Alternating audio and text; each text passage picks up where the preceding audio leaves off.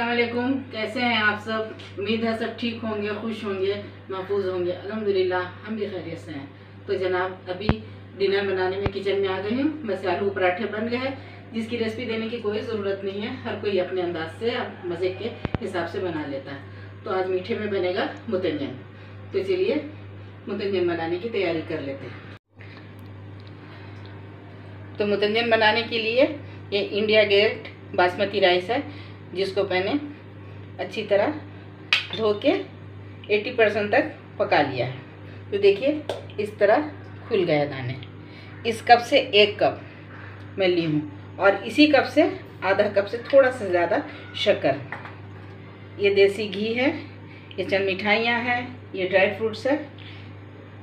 चलिए, तैयारी करते हैं। तो ये गैस ऑन हो गया। ये कढ़ाई में रख दी हूँ, कढ़ाई गर्म हो जाएगी। उसके बाद थोड़ा सा देसी घी या बटर डालिए। देसी घी या बटर से ही बनाइए, इसको ज़्यादा अच्छा लगता है। घी गरम हो रहा है इधर। अब ये खुशबू के लिए चार इलायची डाल दिए। अब आहिस्ता आहिस्ता ये चावल भी डाल देंगे।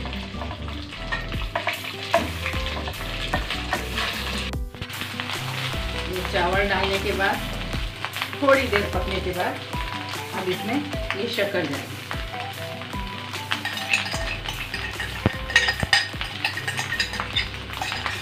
शक्कर डालने के बाद इसको थोड़ा सा हिला के आँच को धीमी कर देंगे, ताकि शक्कर अच्छे से पिघल जाए। एक चुटकी नमक भी डाल देंगे इसमें, ताकि मिठास खुल के आए। इस वक्त देखिए, शक्कर भी अच्छे से मिल गई है इसमें। बहुत हल्के हाथों से इसको हिलाएँगे।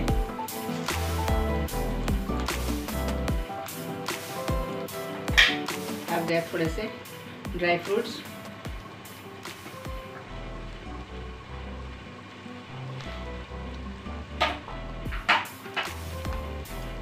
मिठाई। आपके पास जो मिठाई है घर में रखी हुई वही सब डाल दीजिए। अगर नहीं है तो सॉरी, बाज़ार से ले लीजिएगा।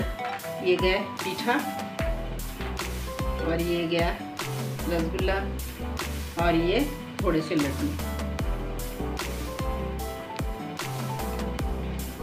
और थोड़े से बाद में डिश आउट करने टाइम डालेंगे अब आँच को बिल्कुल धीमा कर देंगे। चावल को 80 परसेंट पकाना है। जिस तरह बिरयानी के बनाते हैं, उसी तरह। ना 70 ना 90 क्योंकि अगर 80 परसेंट पकाएँगे तो ये गल जाएँगे बहुत ज़्यादा। और 70 परसेंट पकाएँगे तो चीनी में जाने के बाद, चाशनी के बाद वो कड़े हो जाएँगे। इसलिए 80 परसेंट हिसाब एकदम बिल्कुल सही होता है इसका।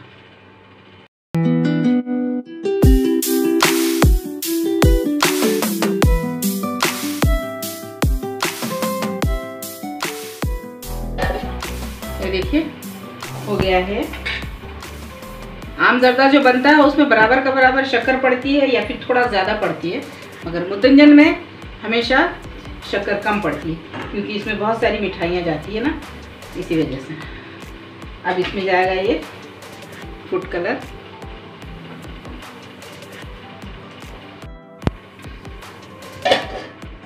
अब ये गया फ़ूड कलर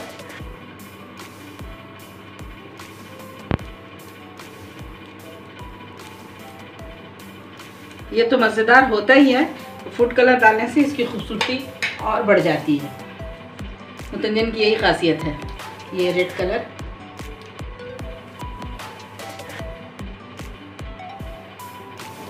ये ऑरेंज कलर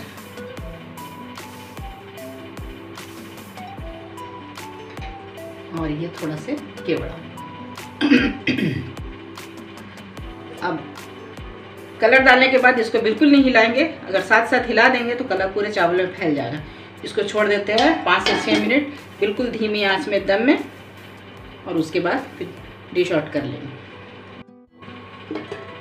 तो ये देखिए, दम में हो गया हमारा मुतंजन थोड़ी देर छोड़ देंगे, उसको ऐसे ही आँच बंद कर देंगे। तो चलिए, डिश आउट कर लेते हैं। थोड़ा से हिला लेंगे इसको, ताकि कलर अच्छी तरह पूरा ये हो फैल जाए चावल में।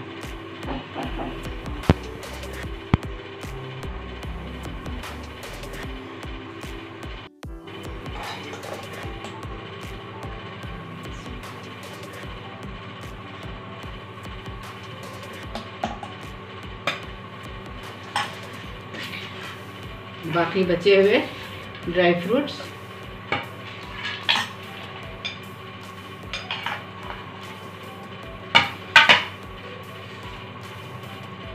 मिठाई।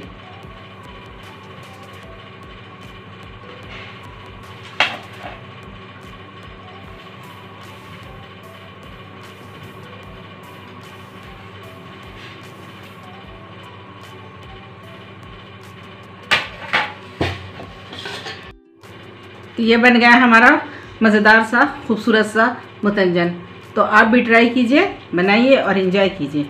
अगर मेरी वीडियोस पसंद आती है तो मेरे चैनल को लाइक, शेयर एंड सब्सक्राइब ज़रूर कीजिएगा। और कमेंट करके बताइएगा ज़रूर कि कैसी लगी मेरी रेसिपी। इन फिर मिलते हैं एक नए ब्लॉग में। ख़ुद खुश रहिए और दूसरों को भी खुश रखिए। अल्लाह हाफिज़।